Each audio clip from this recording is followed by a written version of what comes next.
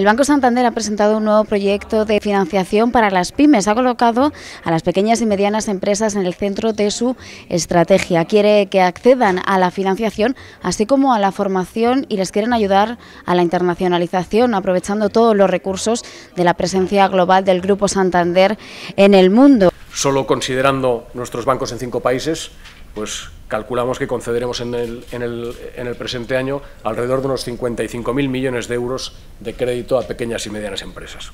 Creen desde el Banco Santander que la tendencia económica ha cambiado y ponen a las pymes en el centro de su estrategia. Quieren que hasta el año 2016 más de 200.000 empresas se beneficien de este programa Santander Advance. Para nosotros, para Banco Santander,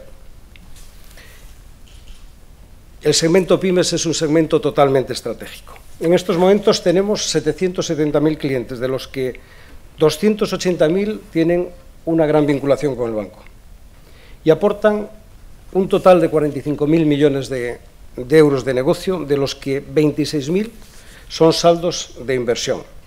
Una de las cosas que se le ha reprochado al Banco Santander en esta presentación es que en cinco años de crisis no han dado financiación, dejando huérfanas a las pymes, a lo que ha contestado Javier Marín, el consejero delegado de la entidad, que su banco no ha dejado ni un proyecto solvente sin financiación.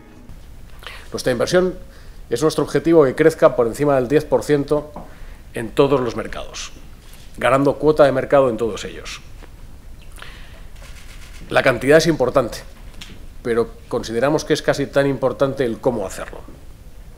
Por ejemplo, en España, donde hemos hecho una revisión de todos nuestros procesos comerciales, de riesgos, operativos y de modos de gestión, donde hemos identificado pues, 48 mejoras que ya se han puesto en marcha, muchas de ellas, y que seguiremos poniendo en marcha a lo largo del ejercicio.